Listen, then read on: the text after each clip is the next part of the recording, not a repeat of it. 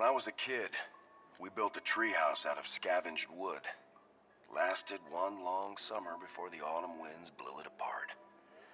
Had time for my first kiss up there. Mm, sweet as August apples. The fallen blossom never returns to the branch. But you only lose what you cling to. There's a treehouse north of here. Built to last decades, solid as the oak it's in. Kids who built it were part of a club. Called themselves the League of Monster Slayers, without a hint of irony. Because that's exactly what they were. See, the window between worlds has always been open a crack on this island. Things would sometimes uh, slip through.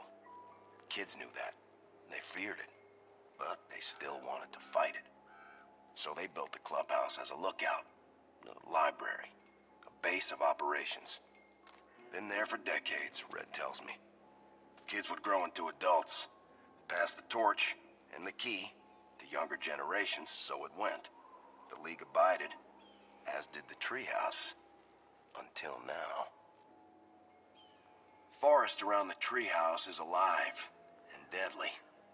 I found out the hard way. Almost got myself killed. Seems the Ak'ab are particularly fond of that spot. Or they want to keep us out. Perhaps the kids kept something in the treehouse. Something the moths are afraid of. I wouldn't underestimate the League.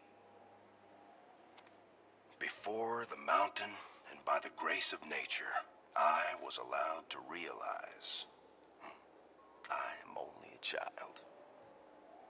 Club I was part of didn't fight monsters or practice magic. But we did practice other things that long, hot summer. All right. So mostly we just talked about it into the warm nights. But that was almost as sweet.